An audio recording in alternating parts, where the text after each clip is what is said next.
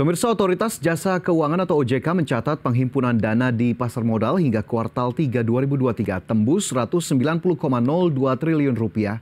Capaian tersebut setara 95 persen dari target penghimpunan dana 2023 sebesar 200 triliun rupiah.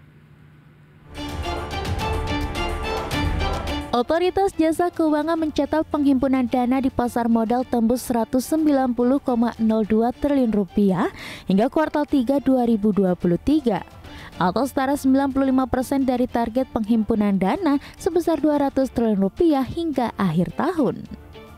Kepala Eksekutif Pengawas Pasar Modal OJK Inaro Jayadi mengatakan penghimpunan dana tersebut bersumber dari inisial public offering, right issue, serta penerbitan obligasi atau suku. Minat penghimpunan dana di pasar modal masih terlihat cukup tinggi, yaitu tercatat sebesar 190,02 triliun rupiah dengan emiten baru tercatat 67 emiten ya di pipeline masih terdapat 89 rencana penawaran umum dengan nilai sebesar 41,21 triliun rupiah dan rencana IPO oleh emiten baru sebesar atau sebanyak 58 perusahaan.